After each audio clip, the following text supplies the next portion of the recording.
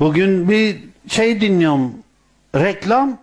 Dünyanın en büyük Atatürk ne o posteri yapılıyormuş Bursa'da. Bezden. Atatürk'e sordum. Dedim sen böyle bir şey ister misin? Bana dedi ki ben bu ahmaklara böyle demedim dedi. Bunlara dedim ki dedi dünyanın en büyük otomobil fabrikasını kurun. Bu ahmaklar, bu geri zekalılar dedi, kalktılar dedi, dünyanın dedi en büyük Atatürk posterini yapıyorlar dedi. Bezden bir şey olacak sanki dedi. Bunu söyleyeyim mi dedim ben bu akşam. Söyle dedi bana.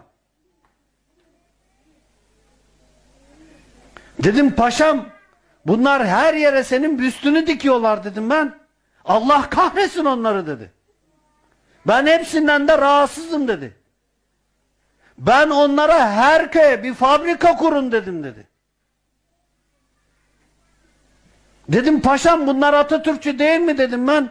Bunlar zinhar dedi. Ne Atatürkçüsü dedi. Mahşerde hepsinden dedi. Hepsinden şikayetçi olacağım dedi.